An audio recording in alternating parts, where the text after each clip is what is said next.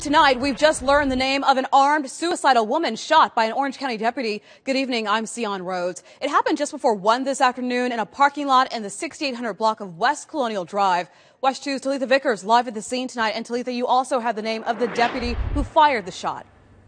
Deputy Christopher Miller with the department since 2007, now on administrative leave after shooting 56 year old Luann Reeves. Now, we're told that she came here armed with a very large knife as well as a gun and also asked for a beer here. Golden Q and Pub. Well, she allegedly shot through these glass windows that are now boarded up as investigators are trying get her to surrender peacefully. And this all boils down to her being very upset over a dead pet.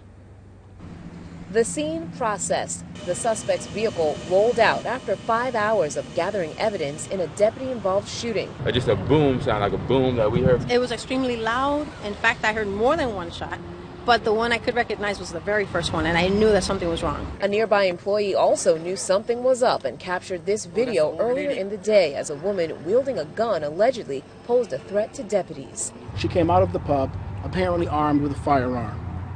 Deputies challenged her. They told her to freeze her and she just like turned around real quick and one of the officers shot her. A bystander also showed us this video of deputies moving in as they search for a woman in her 50s believed to be suicidal over her pet. From her license plate, the woman clearly an animal lover, but apparently hated the thought of not having her pet around. We received this call that she was suicidal. She was very distraught because her pet had been put down or was about to be put down. Investigators say deputies were forced to take action and shot the woman in her shoulder. Her gun, seen here, knocked out of her hand. She pointed the firearm at a deputy.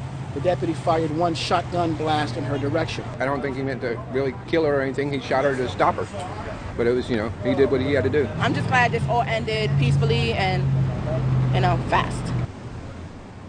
The woman was taken to ORMC and is currently still there. She has non life threatening injuries. FDLE is now investigating this entire situation. Reporting live from Orlando, Talitha Vickers, WESH 2 News.